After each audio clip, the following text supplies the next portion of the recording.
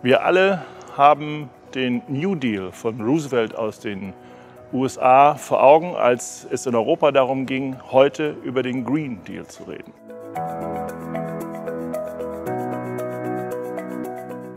Der New Deal damals hatte das Ziel, Gesellschaft wieder miteinander zusammenzubringen, auf der Basis guter Löhne, sicherer Arbeit, Wohlstand für alle zu schaffen. Der neue Green Deal muss darauf ausgerichtet sein, Klimaneutralität und die Zukunft unserer Umwelt mit unserem Alltag, mit unseren Wünschen und Konsumneigungen wieder zu verbinden.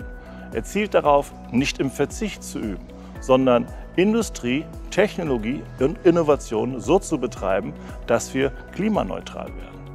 Und in Dortmund versuchen wir genau diesen Weg systematisch zu gehen, um Arbeit zu schaffen, um Technologie zu entwickeln und so eine Großstadt der Nachbarn zu schaffen, in der sich alle am Ende auch wohlfühlen können, auch mit Blick auf die Umwelt.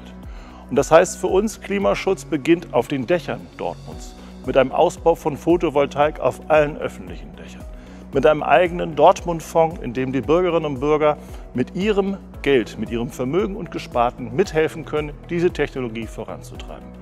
Und mit einer Wärmewende, wo die Versorgung mit Wärme für alle Städte, Gebäude und Wohnungen so organisiert werden kann, dass auch das am Ende klimaneutral ist. Ein großer, ein langer, aber ein wichtiger Weg. Und gemeinsam, eben im Deal, wollen wir es auch hier erreichen. Das ist unser Beitrag zu dem, was in dieser Allianz über Europas Städte organisiert werden soll. Ich wünsche uns allen gemeinsam dafür viel Erfolg.